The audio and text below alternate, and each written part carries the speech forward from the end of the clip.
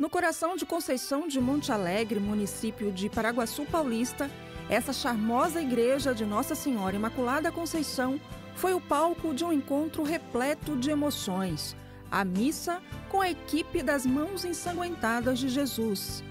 A celebração atraiu fiéis, reunindo a comunidade em um momento de profunda espiritualidade.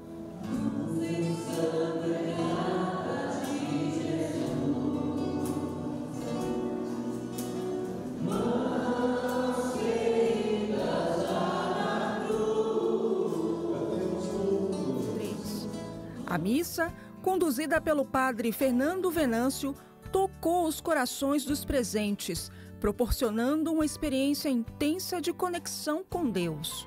A equipe das Mãos Ensanguentadas de Jesus, conhecida por seu trabalho evangelizador e suas missas emocionantes, trouxe uma atmosfera de renovação e esperança para todos os participantes. Com corações transbordando de gratidão, fiéis presentes fizeram questão de contar suas histórias e testemunhos, compartilhando milagres e graças recebidas que transformaram suas vidas através da novena das mãos ensanguentadas de Jesus. Eu só tenho de agradecer.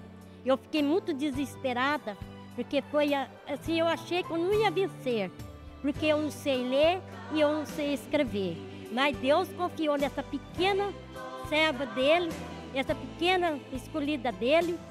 Eu peguei e tive um sonho com as mãos ensanguentadas de Jesus. E Jesus disse para mim que ele ia me dar força, porque ele nunca desistiu de mim. Que nessa comunidade vai acontecer muitas bênçãos nas minhas caminhadas.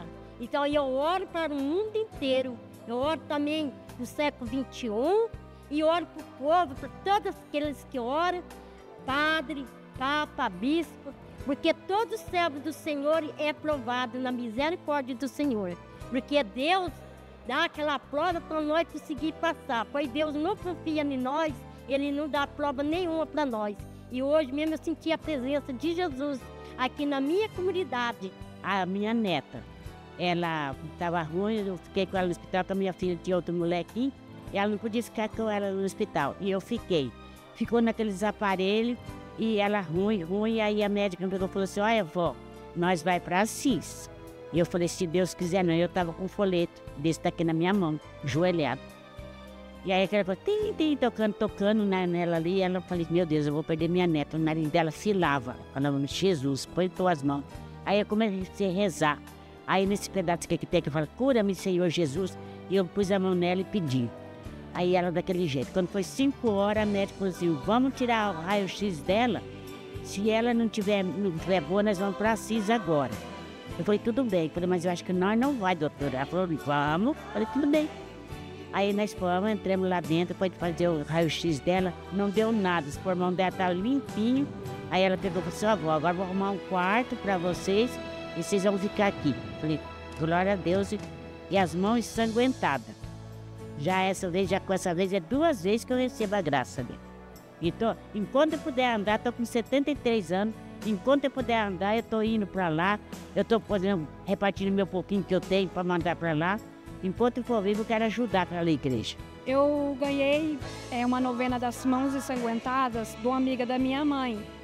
Comecei a fazer ela há um mês e aí, de repente, eu parei de fazer essa novena pelo meu pai, porque meu pai não não estava indo para a igreja, pela conversão dele, para ele voltar às missas. E aí ela insistiu, é, volta a fazer a novena e persiste que você vai realizar a graça. Aí eu comecei de novo com a novena, fiz um mês, dois meses, três meses. Meu pai está indo na missa todos os domingos com a graça das mãos ensanguentadas que eu recebi essa graça foi através da novena das mãos ensanguentadas. E louvo e agradeço a Deus por essa graça recebida e alcançada. E creio que virá muitos, muitas, muitas.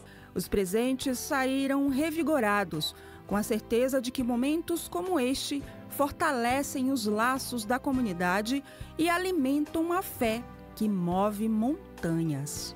Louvado seja Deus por mais uma noite de cura, de libertação diante deste povo maravilhoso que fez uma experiência profunda das mãos ensanguentadas de Jesus. Eu tenho certeza que o Senhor derramou aqui hoje uma gota do seu preciosíssimo sangue, libertando, curando, restaurando famílias, saúde, restaurando vidas e fazendo com que este povo aprenda verdadeiramente o sentido do perdão e da misericórdia. Eu senti isso muito fundo no meu coração, que Deus foi falando que nós precisamos aprender a perdoar.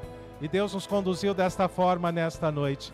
Que Deus abençoe este povo, esta comunidade fiel, que com certeza estará conosco no mês de setembro, celebrando juntos o mês das mãos ensanguentadas de Jesus. Fica aqui o nosso coração e esta sensação de dever cumprido. Que as mãos ensanguentadas continuem abençoando todo esse povo que aqui nos recebeu e também a sua vida, a sua casa e a sua família. Em nome do Pai e do Filho e do Espírito Santo. Amém.